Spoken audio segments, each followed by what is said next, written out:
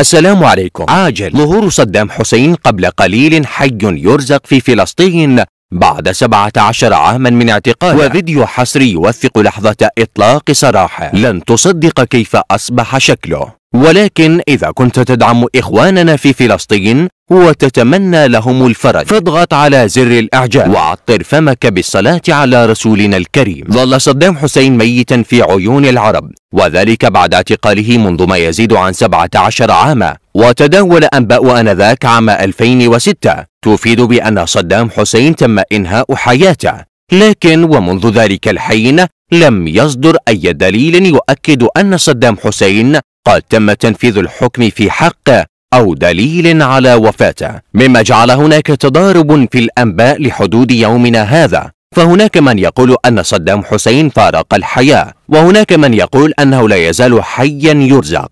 لكن ما هز العالم وهو ما تدولته وكالة الأنباء الدولية قبل قليل؟ حيث نشرت فيديو انتشر على نطاق واسع تم التقاطه في فلسطين. ويظهر فيه الرئيس العراقي السابق صدام حسين لحظة الإفراج عنه من طرف الجيش الفلسطيني. كما أفادت وكالة الأنباء الدولية أن صدام حسين قضى تسعة أعوام في السجن داخل الولايات المتحدة.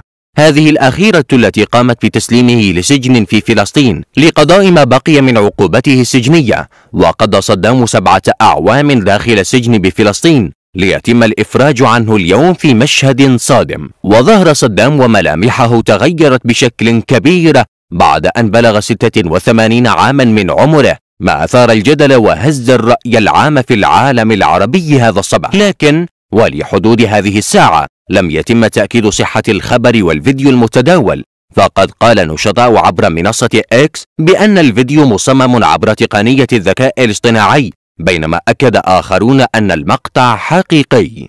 وفي النهاية عزيز المشاهد شاركنا برأيك في التعليقات حول هذا الخبر. ولا تنسى الاشتراك في القناة ليصلك جديدنا.